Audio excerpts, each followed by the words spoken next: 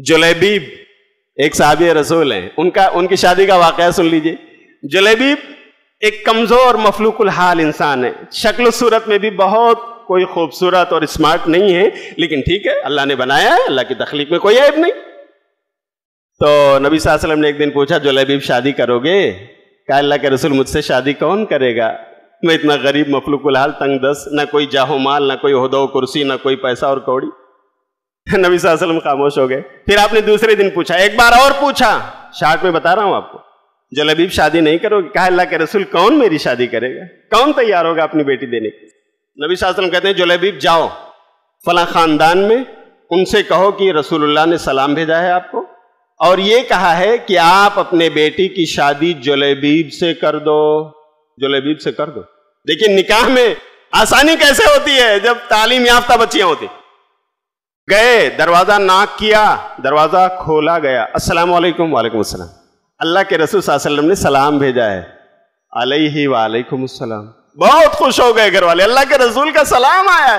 कहा हाँ हाँ सुनिए, एक और पैगाम है, सुनिए। वो घर में जा रहे थे कि नबी का पैगाम, नबी का सलाम सुना दें। तो जलेबीब ने रोका कहा, सुनिए, एक और पैगाम है। कहा, क्या? कहा, नबी वसल्लम ने कहा है कि आप अपनी बेटी का रिश्ता जुलेबीब से कर दें। तो उनके मुँह का रंग बदल गया चेहरे का रंग बदल गया। कहते हैं अच्छा जरा मैं घर में पूछता हूँ। घर में गए अपनी बीवी से कहा कि नबी का सलाम आया है। और रिश्ता मांगा है नबी सासू ने। कहा किसके लिए? अपने लिए? बड़ी खुशी की बात कहा नहीं अपने लिए नहीं जुलेबीब के लिए मेरी बेटी का रिश्ता मांगा है। हाँ, घर की खातून वो कहने लगी बेटी की माँ जुलेबीब और हम में क्या मुआजना है? नकद होने लगा। अल्लाह अकबर। इसी बीच में सुनिए, घर में जो बेटी जिसके लिए पैगाम आया था जुलेबीब का, वो लड़की सुन रही है। वो बेटी उनकी सुन रही है। अल्लाह अकबर। जिसने कुरान को अल्लाह का कलाम माना है। नबी वसल्लम को अपना रसूल माना है। किताब और सुन्नत को अपने लिए निजात की राह माना है। नबी की सुन्नतों पर हुक्म पर चलना अपने लिए मदार निजात तस्लीम किया है। वो बेटी सुन रही है।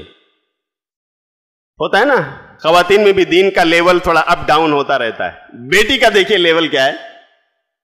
वो जाने लगते हैं, कहने की नहीं, जोलेबीब के लिए तो ये रिश्ता काबिल कबूल नहीं लेकिन अभी रास्ते में है कि बेटी ने रोका, कहा, अब्बू, जरा सुनो, ये पैगाम भेजा किसने? अल्लाह अकबर। बेटी बोल पड़ी। अब्बू, ये रिश्ता आया किसकी तरफ़ से? कहा, नबी की तरफ़ से। किसके लिए? कहा, जोलेबीब के लिए। तो अब्बू आपको कबूल नहीं है? अम्मी, आपको कबूल नहीं कहा बेटा?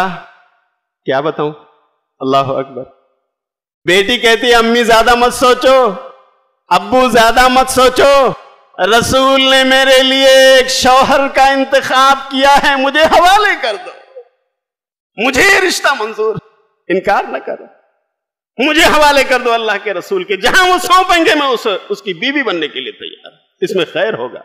अल्लाह अकबर, हमारे कौम की बेटियाँ अगर पढ़ेंगी, अपने आप को दीनी तालीम से बनाएँगी, संवारेंगी, अल्लाह की कसम, निकाह और रिश्तों में भी आसानियाँ होंगी।